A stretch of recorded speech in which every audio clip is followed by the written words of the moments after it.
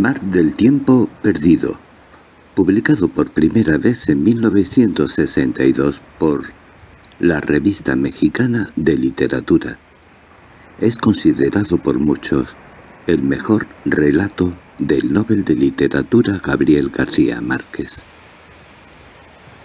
El mar del tiempo perdido es un relato donde el mar se convierte en un personaje más de el cuento. Es la historia de un pueblo costero en América Latina y la llegada de un norteamericano que dice ser el hombre más rico de la tierra, el señor Herbert. Un gran relato. Espero que lo disfrutes tanto como yo al leerlo. Y ahora ya damos comienzo. El mar del tiempo perdido. Un cuento de Gabriel García Márquez. Hacia el final de enero el mar se iba volviendo áspero. Empezaba a vaciar sobre el pueblo una basura espesa, y pocas semanas después todo estaba contaminado de su humor insoportable. Desde entonces el mundo no valía la pena, al menos hasta el otro diciembre, y nadie se quedaba despierto después de las ocho. Pero el año en que vino el señor Herbert, el mar no se alteró, ni siquiera en febrero. Al contrario, se hizo cada vez más liso y fosforescente. Y en las primeras noches de marzo exhaló una fragancia de rosas. Tobías la sintió. Tenía la sangre dulce para los cangrejos y se pasaba la mayor parte de la noche espantándolos de la cama hasta que volteaba la brisa y conseguía dormir. En sus largos insomnios había aprendido a distinguir todo cambio de aire, de modo que cuando sintió un olor de rosas no tuvo que abrir la puerta para saber que era un olor del mar. Se levantó tarde, Clotilde estaba prendiendo fuego en el patio. La brisa era fresca y todas las estrellas estaban en su puesto. Pero costaba trabajo contarlas hasta el horizonte a causa de las luces del mar. Después de tomar café, Tobías sintió un rastro de la noche en el paladar. «Anoche», recordó, «sucedió algo muy raro». Clotilde, por supuesto, no la había sentido. Dormía de un modo tan pesado que ni siquiera recordaba los sueños. «Era un olor de rosas», dijo Tobías, «y estoy seguro que venía del mar». «No sé qué huelen las rosas», dijo Clotilde. Tal vez fuera cierto. El pueblo era árido, con un suelo duro, cuarteado por el salitre y sólo de vez en cuando alguien traía de otra parte un ramo de flores para arrojarlo al mar en el sitio donde se echaban los muertos. «Es el mismo olor que tenía el ahogado de Guacamayal», dijo Tobías. «Bueno», sonrió Clotilde, «pues si era un buen olor, puedes estar seguro que no venía de este mar». Era, en efecto, un mar cruel. En ciertas épocas, mientras las redes no arrastraban sino basura en suspensión, las calles del pueblo quedaban llenas de pescados muertos cuando se retiraba la marea. La dinamita solo sacaba a flote los restos de antiguos naufragios.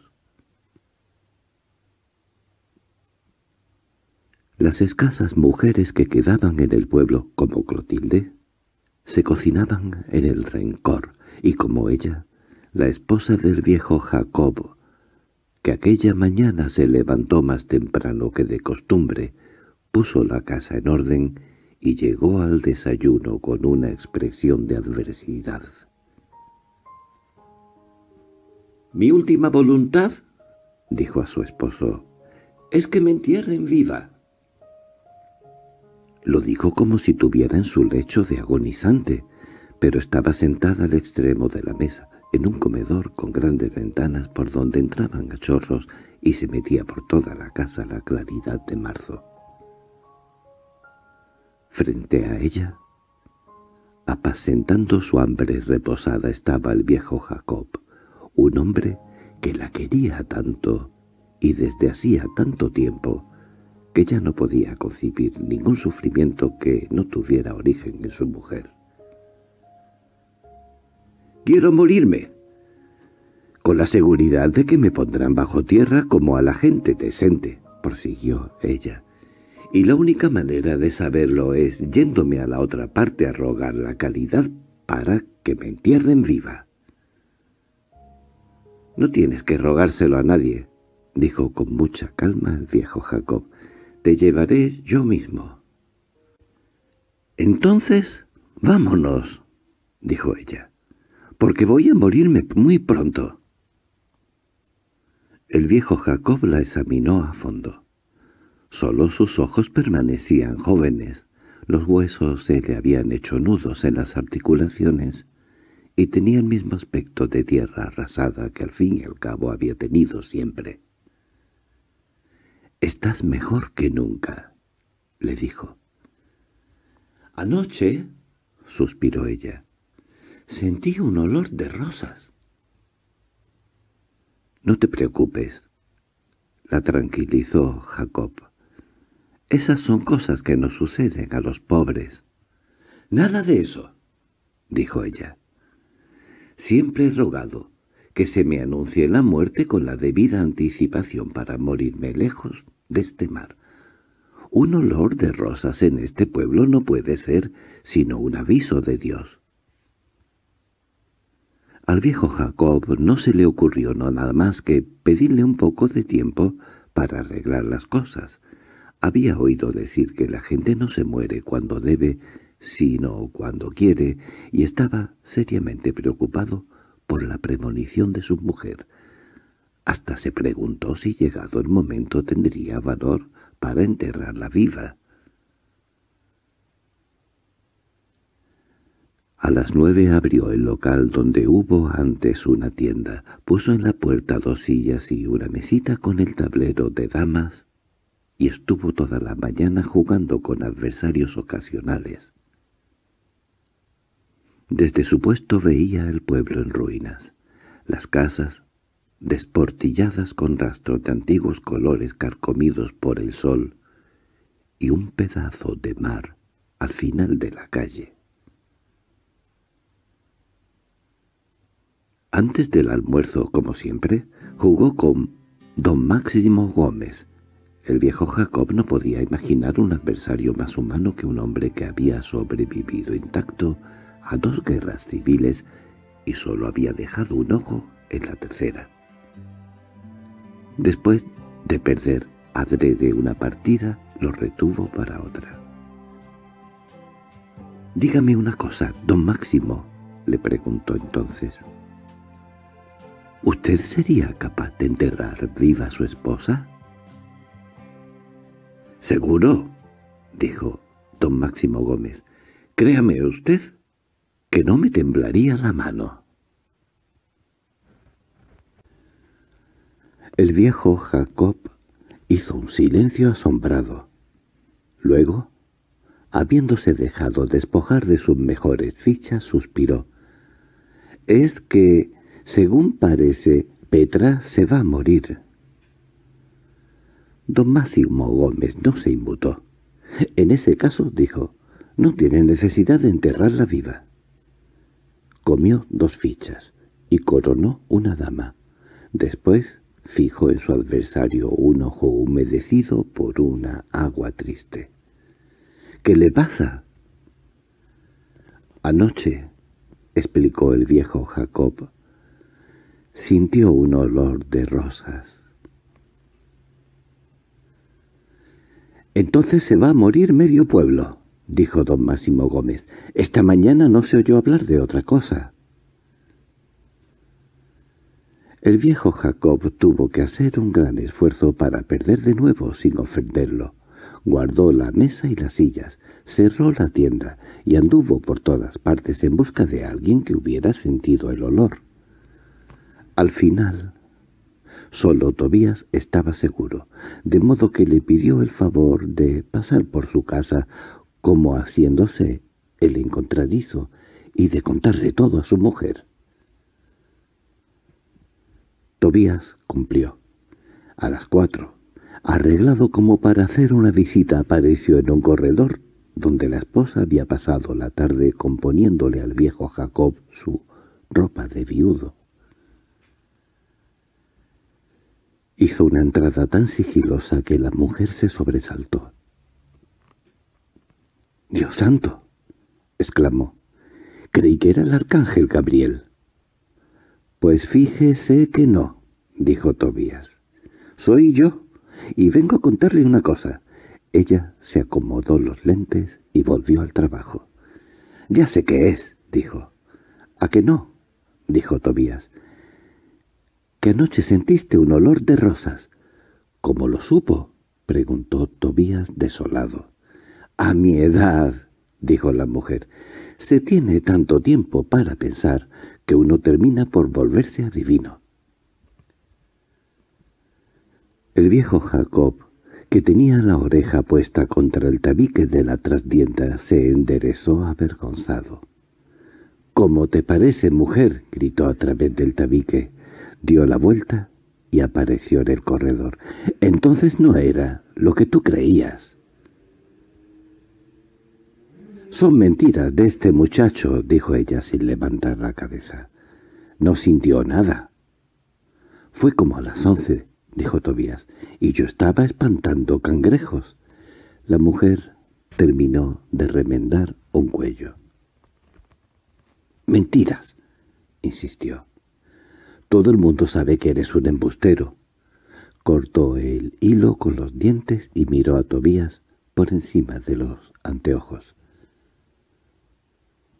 Lo que no entiendo es que te hayas tomado el trabajo de untarle vaselina en el pelo y de lustrar los zapatos nada más que para venir a faltarme el respeto.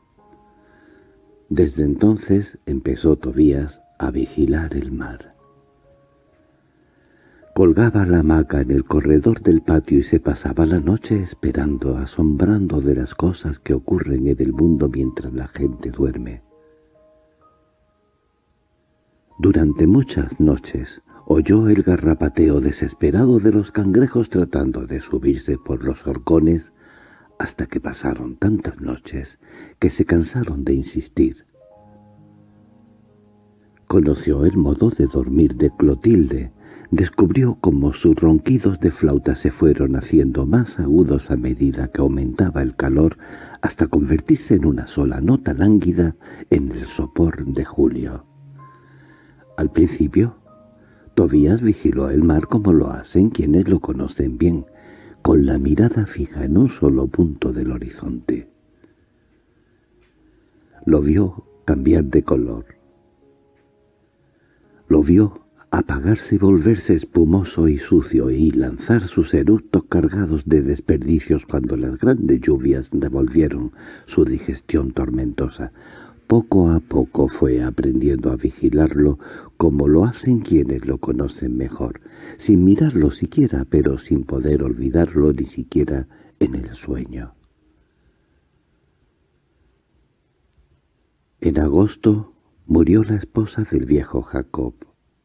Amaneció muerta en la cama y tuvieron que echarla, como a todo el mundo, en un mar sin flores. Tobías siguió esperando.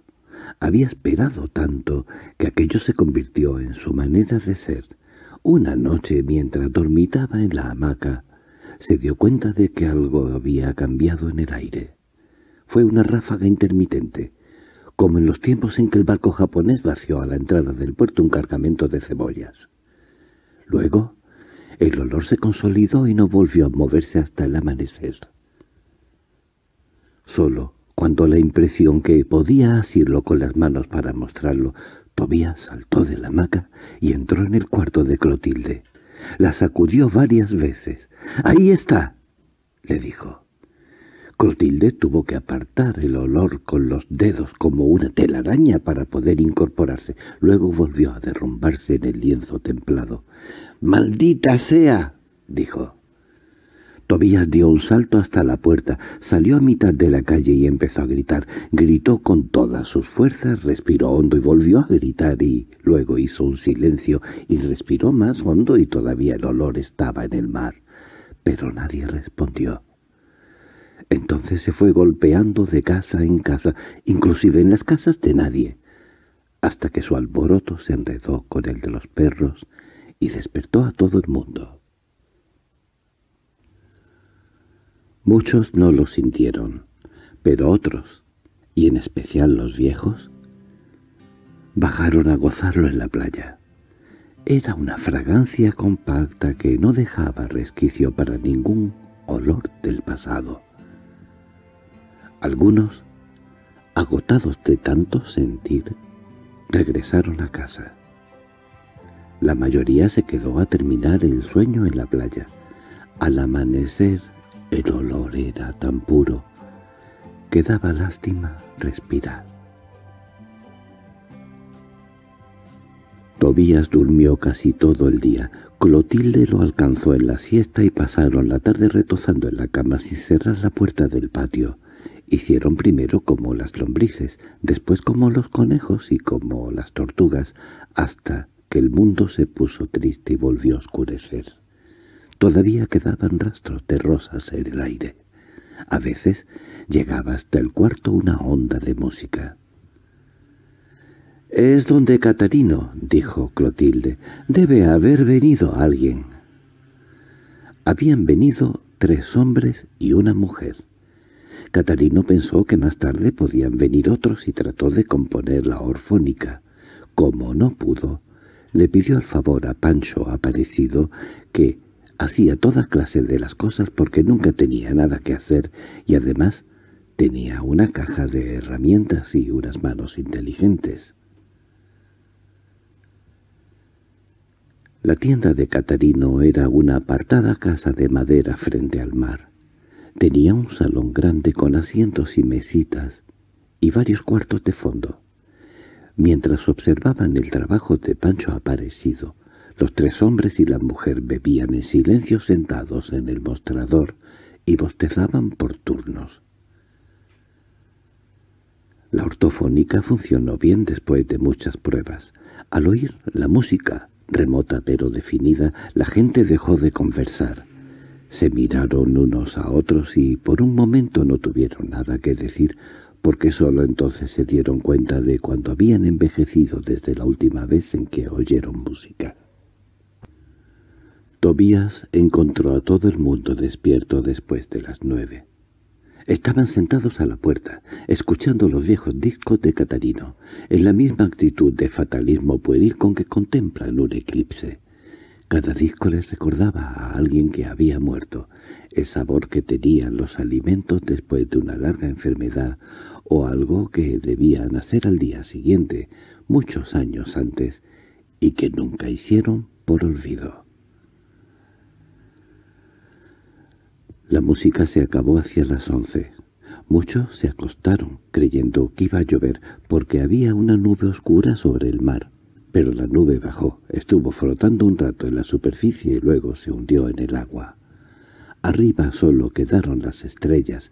Poco después, la brisa del pueblo fue hasta el centro del mar y trajo, de regreso, una fragancia de rosas. «Yo se lo dije», —¡Jacob!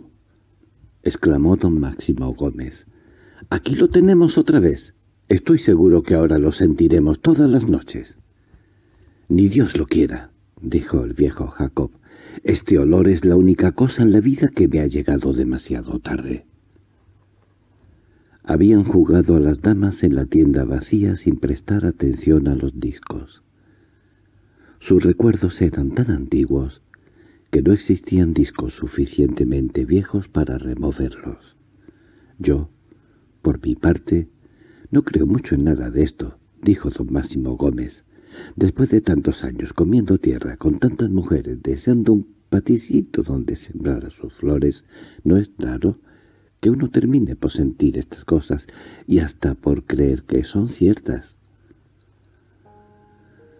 —Pero lo estamos sintiendo con nuestras propias narices —dijo el viejo Jacob. —No importa —dijo don Máximo Gómez—. Durante la guerra, cuando ya la revolución estaba perdida, habíamos deseado tanto un general que vimos aparecer al duque de Marlborough en carne y hueso. Yo lo vi con mis propios ojos, Jacob. Eran más de las doce, cuando quedó solo. El viejo Jacob cerró la tienda y llevó la luz al dormitorio. A través de la ventana, recortada en la fosforescencia del mar, veía la roca desde donde brotaban los muertos. —¡Petra! —llamó en voz baja. Ella no pudo oírlo. En aquel momento navegaba casi a flor de agua en un mediodía radiante del Golfo de Bengala. Había levantado la cabeza para ver a través del agua como en una vidriera iluminada un transatlántico enorme. Pero no podía ver a su esposo, que en ese instante empezaba a oír de nuevo la ortofónica de Catarino al otro lado del mundo. «Date cuenta», dijo el viejo Jacob, «hace apenas seis meses te creyeron loca, y ahora ellos mismos hacen fiesta con el olor que te causó la muerte». Apagó la luz y se metió en la cama. Lloró despacio, con el llantito sin gracia de los viejos, pero muy pronto se quedó dormido. «Me largaría de este pueblo si pudiera», sollozó entre sueños. «Me iría al puro carajo si por lo menos tuviera veinte pesos juntos». Desde aquella noche, y por varias semanas, el olor permaneció en el mar, impregnó la madera de las casas, los alimentos y el agua de beber, y ya no hubo dónde estar sin sentirlo. Muchos se asustaron de encontrarlo en el vapor de su propia cagada. Los hombres y la mujer que vinieron en la tienda de Catarino se fueron un viernes, pero regresaron el sábado con un tumulto. El domingo vinieron más. Hormiguearon por todas partes buscando qué comer y dónde dormir, hasta que no se pudo caminar por la calle.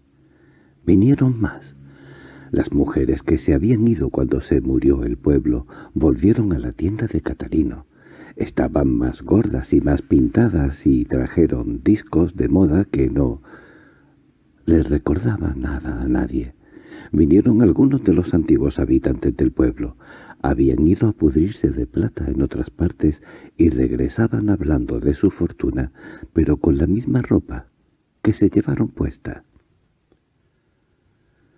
Vinieron músicas y tómbolas, mesas de lotería, adivinas y pistoleros y hombres con una culebra enrollada en el cuello que vendían el elixir de la vida eterna.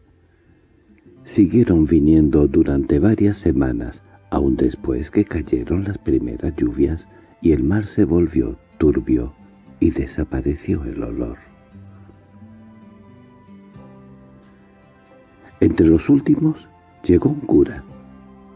Andaba por todas partes, comiendo pan mojado en un tazón de café con leche, y poco a poco iba prohibiendo todo lo que había precedido, los juegos de lotería, la música nueva y el modo de bailarla, y hasta la reciente costumbre de dormir en la playa.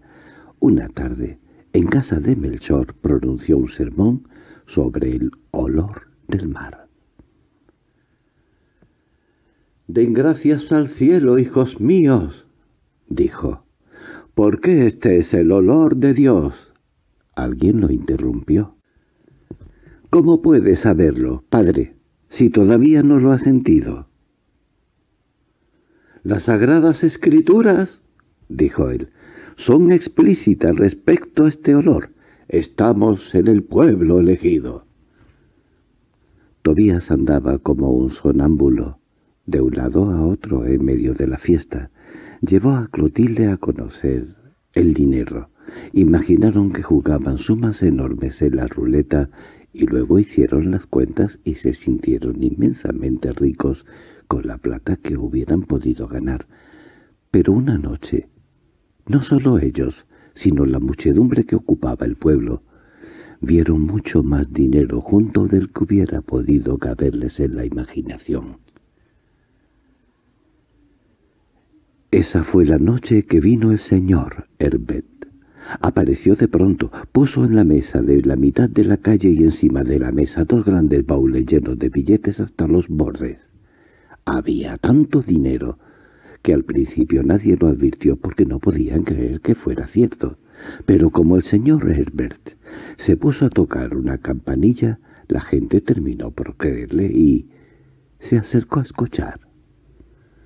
«Soy el hombre más rico de la tierra», dijo. «Tengo tanto dinero que ya no encuentro dónde meterlo, y como además tengo un corazón tan grande que ya no me cabe dentro del pecho, he tomado la determinación de recorrer el mundo resolviendo los problemas del género humano».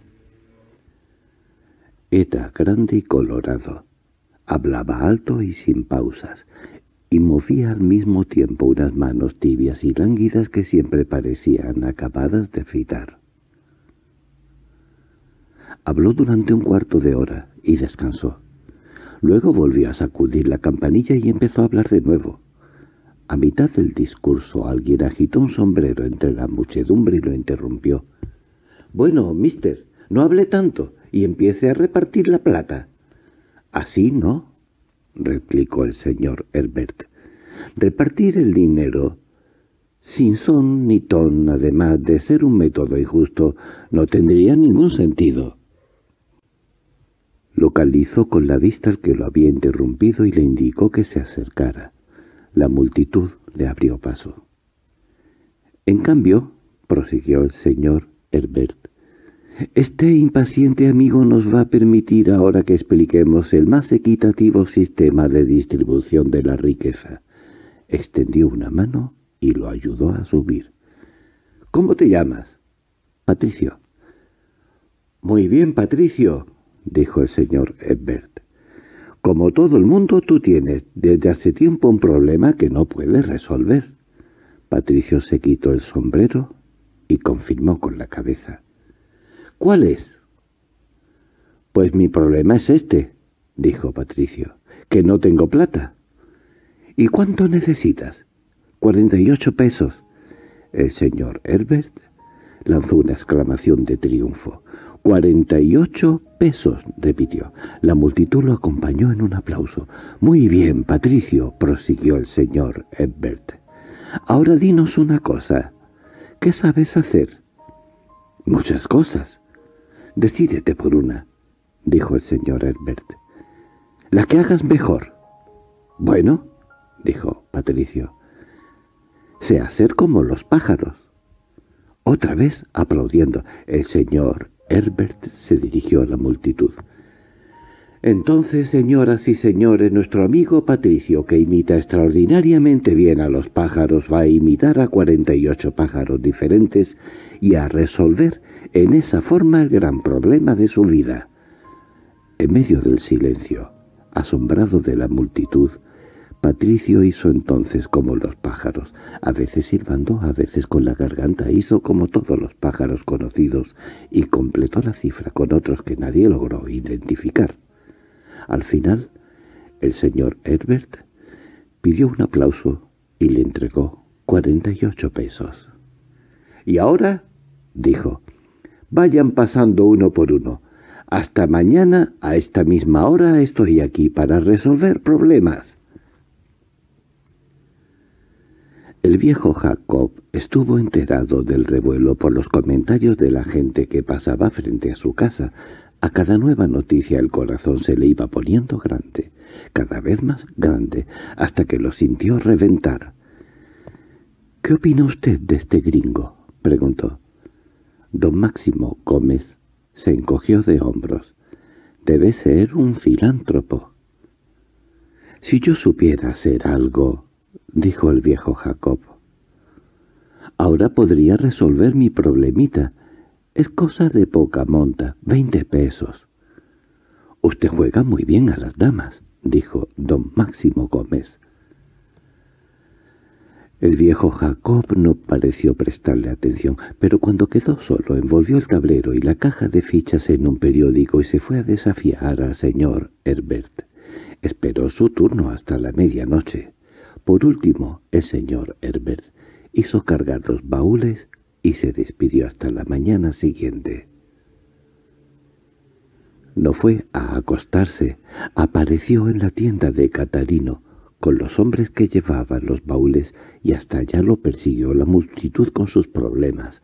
Poco a poco los fue resolviendo, y resolvió tantos, que por fin solo quedaron en la tienda las mujeres y algunos hombres con sus problemas resueltos, y al fondo del salón una mujer solitaria que se apanicaba muy despacio con un cartón de propaganda. —¿Y tú? —le gritó el señor Edbert. —¿Cuál es tu problema? La mujer dejó de abanicarse. —A mí no me meta en tu fiesta, mister —gritó a través del salón. —Yo no tengo problemas de ninguna clase, y soy puta, porque me sale de los cojones. El señor Herbert se encogió de hombros. Siguió bebiendo cerveza helada y junto a los baúles abiertos en espera de otros problemas. Sudaba.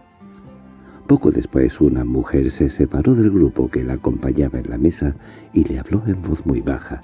Tenía un problema de 500 pesos. —¿Ah, cómo estás? —le preguntó Herbert. —A cinco.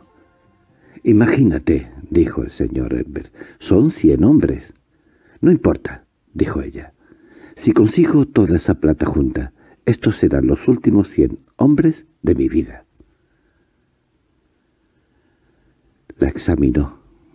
Era muy joven, de huesos frágiles, pero sus ojos expresaban una decisión simple. «Está bien», dijo el señor Herbert. «Vete para el cuarto, que allá te los voy mandando, cada uno con sus cinco pesos».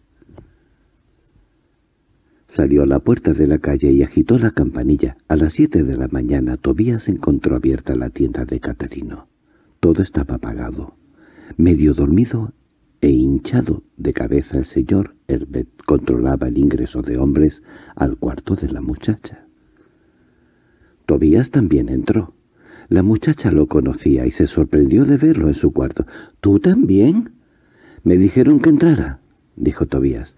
—Me dieron cinco pesos y me dijeron «no te demores». Ella quitó de la cama la sábana empapada y le pidió a Tobías que la tuviera de un lado. Pesaba como un lienzo. La exprimieron torciéndola por los extremos hasta que recobró su peso natural. Voltearon el colchón y el sudor salía de otro lado. Tobías hizo las cosas de cualquier modo. Antes de salir puso los cinco pesos en el montón de billetes que iba creciendo junto a la cama. «Manda toda la gente que puedas», le recomendó el señor Herbert. «A ver si salimos de esto antes del mediodía». La muchacha entreabrió la puerta y pidió una cerveza helada. Había varios hombres esperando. «¿Cuántos faltan?» preguntó. «Sesenta y tres», contestó el señor Herbert. El viejo Jacob pasó todo el día persiguiéndolo con el tablero. Al anochecer alcanzó su turno. Planteó su problema y el señor Herbert aceptó. Pusieron dos sillas y la mesita sobre la mesa grande en plena calle, y el viejo Jacob abrió la partida. Fue la última jugada que logró premeditar. Perdió. —Cuarenta pesos —dijo el señor Herbert—, y le doy dos fichas de ventaja. Volvió a ganar. Sus manos apenas tocaban las fichas. Jugó vendado, adivinando la posición del adversario y siempre ganó. La multitud se cansó de verlos. Cuando el viejo Jacob decidió rendirse, estaba debiendo cinco mil setecientos cuarenta y dos pesos con veintitrés centavos. No se alteró. Apuntó la cifra en un papel que se guardó en el bolsillo. Luego dobló el tablero, metió las fichas en la caja y envolvió todo en el periódico. «Haga de mí lo que quiera», dijo, «pero déjeme estas cosas. Le prometo que pasaré jugando el resto de mi vida hasta reunir esta plata». El señor Herbert miró el reloj. «Lo siento en el alma», dijo. «El plazo vence dentro de veinte minutos».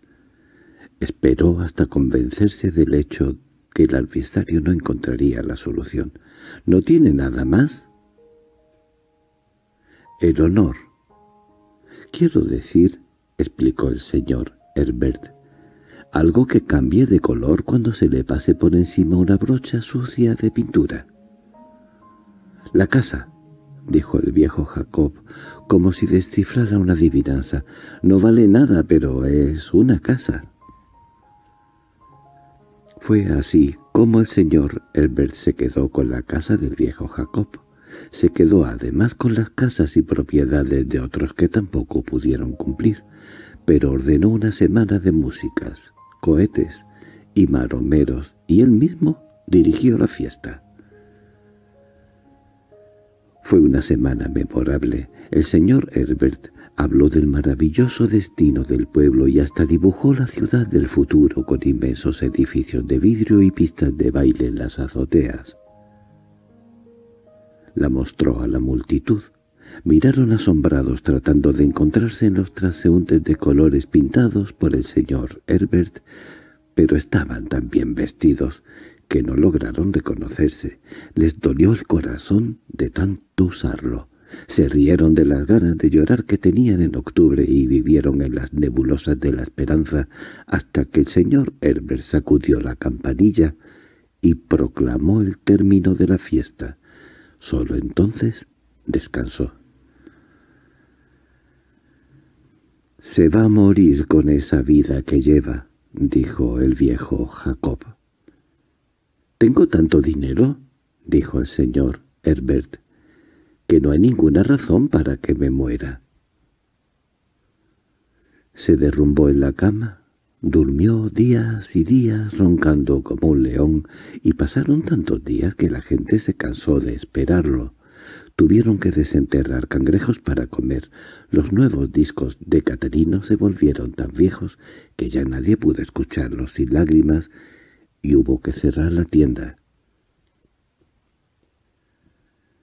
Mucho tiempo después que el señor Herbert empezó a dormir, el padre llamó a la puerta del viejo Jacob. La casa estaba cerrada por dentro. A medida que la respiración del dormitorio había ido gastando el aire, las cosas habían ido perdiendo su peso y algunas empezaban a flotar. «Quiero hablar con él», dijo el padre. —Hay que esperar —dijo el viejo Jacob. —No dispongo de mucho tiempo. Siéntese, padre, y espere —insistió el viejo Jacob—, y mientras tanto hágame el favor de hablar conmigo. Hace mucho que no sé nada del mundo. —La gente está desbandada —dijo el padre. —Dentro de poco el pueblo será el mismo de antes. Eso es lo único nuevo. —Volverán —dijo el viejo Jacob—, cuando el mar vuelva a oler a rosas. Pero mientras tanto hay que sostener con algo la ilusión de los que se quedan —dijo el padre—. Es urgente empezar la construcción del templo. —Por eso ha venido a buscar a Mr. Herbert —dijo el viejo Jacob. —Eso es —dijo el padre—. Los gringos son muy caritativos. Entonces espere, padre —dijo el viejo Jacob—. Puede que despierte. Jugaron a las damas. Fue una partida larga y difícil de muchos días. Pero el señor Herbert no despertó. El padre se dejó confundir por la desesperación. Anduvo por todas partes con un platillo de cobre, pidiendo limosna para construir el templo pero fue muy poco lo que consiguió. De tanto suplicar se fue haciendo cada vez más diáfano. Sus huesos empezaron a llenarse de ruidos, y un domingo se elevó a dos cuartas sobre el nivel del suelo, pero nadie lo supo. Entonces puso la ropa en una maleta y en otra el dinero recogido, y se despidió para siempre. «No volverá el olor», dijo quienes trataron de disuadirlo. Hay que afrontar la evidencia del hecho de que el pueblo ha caído en pecado mortal. Cuando el señor Herbert despertó, el pueblo era el mismo de antes. La lluvia había fermentado la basura que dejó la muchedumbre en las calles y el suelo era otra vez árido y duro como un ladrillo. «He dormido mucho», bostezó el señor Herbert. «Siglos», dijo el viejo Jacob. «Estoy muerto de hambre». «Todo el mundo está así», dijo el viejo Jacob. «¿No tiene otro remedio que ir a la playa?» a desenterrar cangrejos. Tobías lo encontró escarbando en la arena con la boca llena de espuma y se asombró porque los ricos con hambre se parecieran tanto a los pobres. El señor Herbert lo encontró suficientes cangrejos. Al atardecer invitó a Tobías a buscar algo de comer en el fondo del mar.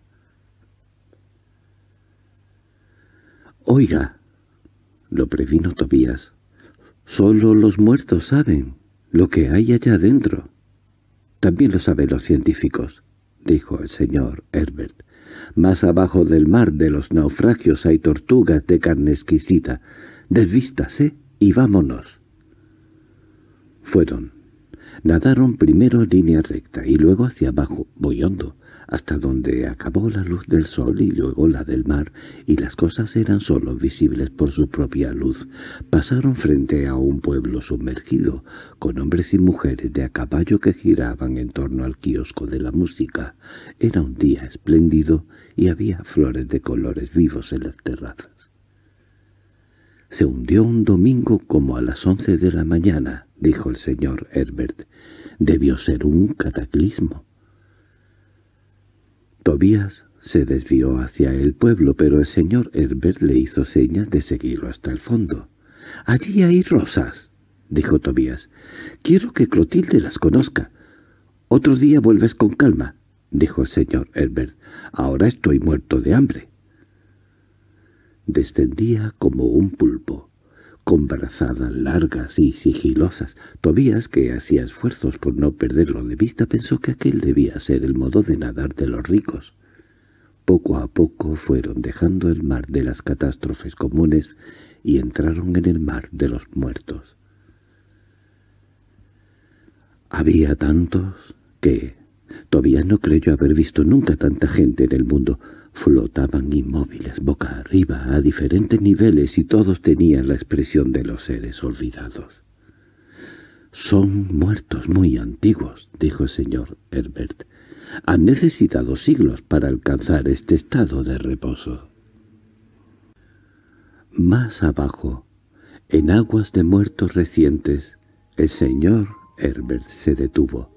Tobías lo alcanzó en un instante en que pasaba frente a ellos una mujer muy joven. Flotaba de costado, con los ojos abiertos, perseguida por una corriente de flores. El señor Herbert se puso el índice en la boca y permaneció así hasta que pasaron las últimas flores. «Es la mujer más hermosa que he visto en mi vida», dijo. «Es la esposa del viejo Jacob», dijo Tobías. «Está como cincuenta años más joven, pero es ella, seguro». «Ha viajado mucho», dijo el señor Herbert. «Lleva detrás la flora de todos los mares del mundo». Llegaron al fondo. El señor Herbert dio varias vueltas sobre el suelo que parecía de pizarra labrada. Tobías lo siguió. Solo cuando se acostumbró a la penumbra de la profundidad descubrió que allí estaban las tortugas. Había millares aplanadas en el fondo y tan inmóviles que parecían petrificadas. «Están vivas», dijo el señor Herbert, «pero duermen desde hace millones de años». Volteó una. Con un impulso suave empujó hacia arriba y el animal dormido se le escapó de las manos y siguió subiendo a la deriva. Tobías la dejó pasar. Entonces miró hacia la superficie y vio todo el mar al revés. «Parece un sueño», dijo. «Por tu propio bien», le dijo el señor Herbert. No se lo cuentes a nadie. Imagínate el desorden que habría en el mundo si la gente se entera de estas cosas. Era casi medianoche cuando volvieron al pueblo. Despertaron a Clotilde para que calentara el agua. El señor Herbert degolló la tortuga, pero entre los tres tuvieron que perseguir y matar otra vez el corazón, que salió dando saltos por el patio cuando la descuartizaron. Comieron hasta no poder respirar. Bueno, Tobías, dijo entonces el señor Herbert, hay que afrontar la realidad. Por supuesto. Y la realidad, prosiguió el señor Herbert, es que ese olor no volverá nunca. —¿Volverá? —No volverá —intervino Clotilde—, entre otras cosas porque no ha venido nunca. Fuiste tú el que embulló a todo el mundo. —Tú misma lo sentiste —dijo Tobías. —Aquella noche estaba medio atarantada —dijo Clotilde—, pero ahora no estoy segura de que nada que tenga que ver con este mar. De modo que me voy —dijo el señor Herbert, y agregó dirigiéndose a ambos. También ustedes deberían irse. Hay muchas cosas que hacer por el mundo para que se queden pasando hambre en este pueblo. Se fue. Tobías permaneció en el patio contando las estrellas hasta el horizonte y descubrió que había tres más desde el diciembre anterior. Clotilde lo llamó al cuarto, pero él no le puso atención. «Ven para acá, bruto», insistió Clotilde. «Hace siglos que no hacemos como los conejitos». Tobías esperó un largo rato. Cuando por fin entró ella había vuelto a dormirse. La despertó a medias, pero estaba tan cansado que ambos confundieron las cosas y en última solo pudieron hacer como las lombrices. «Estás embobao», dijo Clotilde de mal humor. «Trata de pensar en otra cosa». «Estoy pensando en otra cosa». Ella quiso saber qué era, y él decidió contarle a condición que no lo repitiera. Clotilde lo prometió. En el fondo del mar, dijo Tobías, hay un pueblo de casitas blancas con millones de flores en las terrazas. Clotilde se llevó las manos a la cabeza. —¡Ay, Tobías! —exclamó. —¡Ay, Tobías! Por el amor de Dios, no vayas a empezar ahora otra vez con esas cosas. Tobías no volvió a hablar. Se rodó hasta la orilla de la cama y trató de dormir. No pudo hacerlo hasta el amanecer, cuando cambió la brisa y lo dejaron tranquilo. Los cangrejos.